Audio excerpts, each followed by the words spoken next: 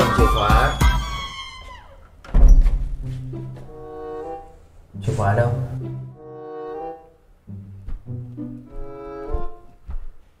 Chết rồi, tôi quên chìa khóa rồi. Chìa khóa đây.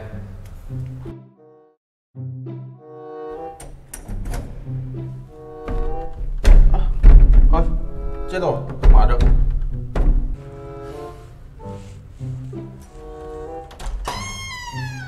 ai thì mà. Tôi nói là cậu uống thuốc đầy đủ vào. Tiêm của ta.